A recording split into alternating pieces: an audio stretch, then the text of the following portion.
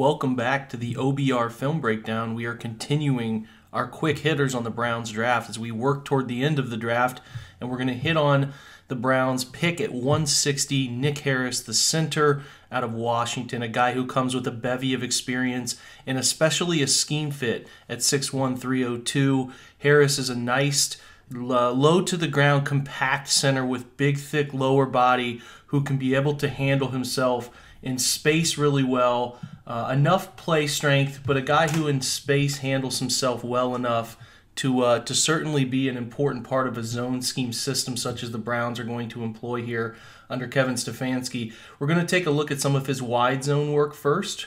He is a really effective uh, player, quick out of his snap uh, to stance to run, which is important for a center being able to function those three things quickly. And he is uh, usually a guy that you will see be able to handle passing off the first level and climbing to the second level as we see here. If you watch Washington, he is continually, Harris, I mean, there is a guy who is continuously able to handle getting to the second level and opening up those downfield alleys for whatever path his running back chooses, whether it's bounce, bang, or bend. He is an important part of that. Again, you see him here climbing on this, just this is more of a. Uh, a pin pull scheme, but it's still the same sort of steps for the center, right? He's got to pass off the zero nose quickly, gets a hand through, slows him down so he's not able to shoot the gap, climb to the second level, and make sure you're working your leverage, which is important, getting your shoulders turned to seal off the, the necessary zone for the back. Don't pay attention to the line around him, what happens. Focus solely on what he is doing, his ability to get to the second level and form the correct body angle. Again, you see here his ability uh, with the shade in front of his face, he has to work to seal this player, right? He's going to open that path. This is almost sort of mid zone, less less wide zone, maybe more mid zone, and we get this quick bang path. And you're going to see him do a really nice job of uh, and uh, sort of an uncanny, quirky decision here to turn his back, but that back turn there is what seals the alley. You don't love the technique. You like to see him work his hips and butt around, but he's uh, you know, he understands the nuances of the position and can sometimes get things done in an unorthodox manner, as we see here, and what makes him a really effective player in this scheme specifically, and what drew the Browns' eye to him as a potential down the line center uh, who could maybe take over when J.C. Tretter is his contract here is finished. Another look here at outside zone. Good job keeping the right arm engaged, right? Has that zero nose again, right arm engaged, climbing with his eyes in the correct position, knows who he is going after, right? He notices that that outside linebacker, uh, sorry, the Mike linebacker here escapes outside, taking his path. And when he sees that, right, he gets the eyes back inside and is there for the backside will coming in to make this play, and he will help seal the alley for this run. It's what you like the awareness the ability to get out and run, and the awareness to handle it as well. So another look at what would be a wide zone body positioning for the center. Again, not wide zone up front. They're running a, a jet sweep by their outside two, and then sort of the ability to sell mid zone from uh, the front side tackle guard here. But just pay attention to Harris's ability to get out and run, stay on this uh, backside will linebacker, run him, and that is why there's an alley open. If this linebacker here is able to just straight down the line pursue, this play does not have the ability to gain those six or seven extra yards. So again, it's that ability in this system to get out and run and impact the second level. Just notice how quickly he's out of his stance, easy, fluid running motion, climbing, taking care of the first level, but then also always having his eyes prepared to pick up linebackers running over the top or through a backside gap, as you see here, just impacting things as you would love to see. And the, the Browns were they were really drawn to the athleticism of a guy who was 6'1", over 300 pounds as he weighed in at the combine, drew their interest, and especially the interest in the scheme that the Browns will run quite a bit in 2020 in the wide zone. So they will also use the uh, the center pull, whether it's pin pull or any sort of G scheme where they can sneak the center out. Harris is quick enough. He's good in screen game, which Stefanski uses plenty, but he's fast enough. We see him used on a reverse here, right? Selling power counter to the front side with the reverse. Going to pull out the backside guard and center here for the reverse. And you can just see how well Harris moves in space. He's not one that's going to be easily ducked where DBs are just going to be able to dip inside that off, and he's going to stay on guys get downfield, handle them at the point of attack. Another look at a center pull scheme here, right? Is they're sort of leaking him as the center. Uh, almost for a center counter, which is a strange scheme. But you know, anytime you have a center who can move this well, you can implement some things, right? He's he's ultimately as he pulls, trying to kick out the in man on the line of scrimmage, this edge number 96. But as he dips down and and uh, squats to play the edge, he just logs him inside.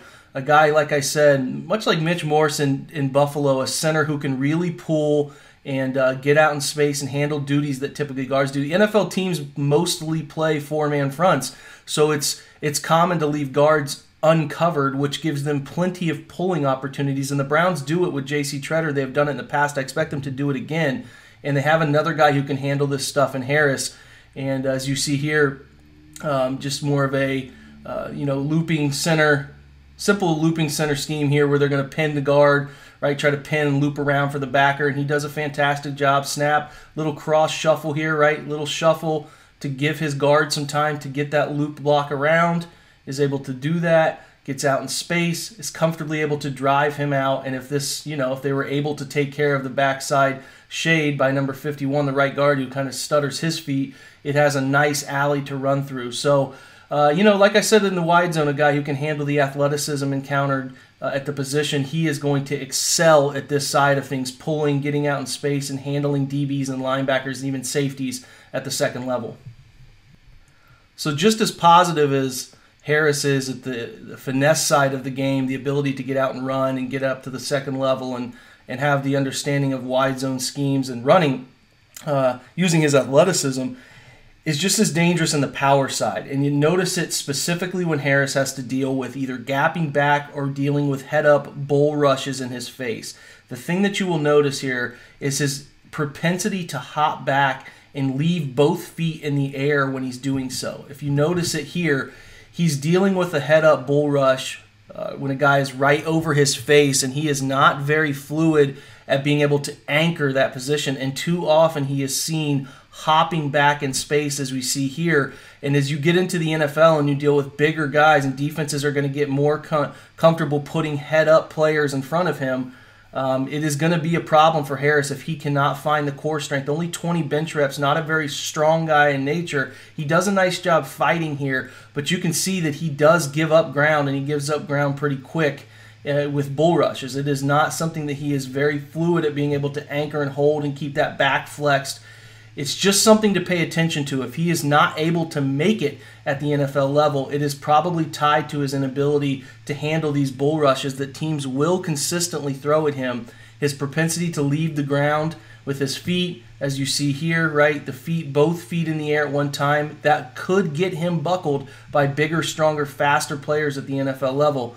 So it's going to be a focal point. Bill Callahan's going to get his hands on this young player. He's going to obviously try to mold him a little bit in a different capacity, especially dealing with these bull rushes. And, and they're going to try to work on him not leaving his feet as consistently as we are seeing because it gives him trouble. You know, if your feet are in the air and then as you try to get your feet but you know, as you see here, feet are in the air, get your feet back on the ground, you can easily get turned and thrown around as we see this uh, nose guard is able to do from BYU. So this is something Harris is going to have to get better at as a long-term prospect for the Browns, especially if they want him to be a part of the interior offensive line. How does he use the bend flex in his back, lower body, anchoring these bull rushes, especially from zero nose guards that teams will put in front of him to exploit a potential weakness in his game?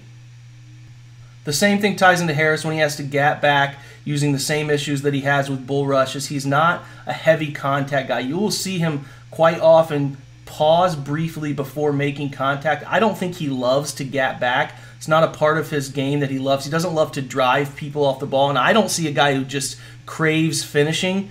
I think too often he gets top heavy and just tries to lean in these situations and hope he can just block long enough to allow the ball carrier to get by, which is not always going to get it done, especially when you have to be able to quickly work gap back and handle powerful defensive linemen at the point of attack. Right? He doesn't deliver much of a blow. He just sort of catches by by slowing himself down. If you can see his feet, he does not really drive into the gap back. Slow feet, and that often gets him in trouble as defensive players up front are able to swim move or use their hands to get into him and quickly change his poor momentum and get past him at the line of scrimmage. Again, another example here, gapping back against a head up three.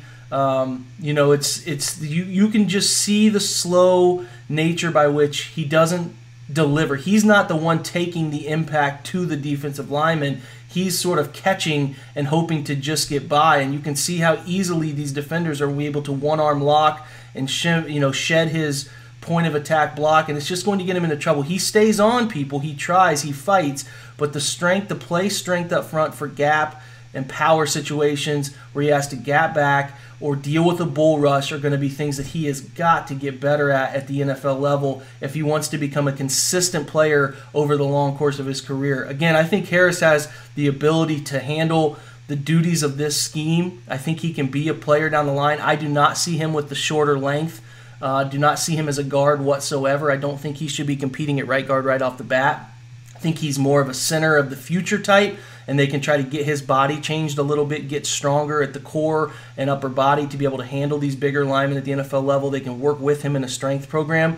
Uh, a good potential player here, but you certainly understand why he was there at pick 160. He does come with some concern, but he has some traits too that you can't coach up for this scheme. So he will be given a chance to play the center at some point Hopefully, he can continue to mold, shape, change his body to be in position to do that. So, that is Nick Harris, pick 160, the good and the bad of the prospect, what he potentially looks like if he makes it, and the things that could slow him down from uh, you know, being a guy who can make it to a second contract and ultimately a contributing part of the Browns franchise up front at the center position. If you have any comments, leave them in the in the uh, section below. Any questions, I will try to answer as well. We always appreciate subscriptions. You can do so by clicking the link in the bottom right corner of this video, and appreciate your attention to the OBR uh, website where we have a full breakdown free for your viewing, linked in the bio here, so you can get a bigger feel for all of the things Nick Harris does well and poorly. Thank you for joining us. Go Browns.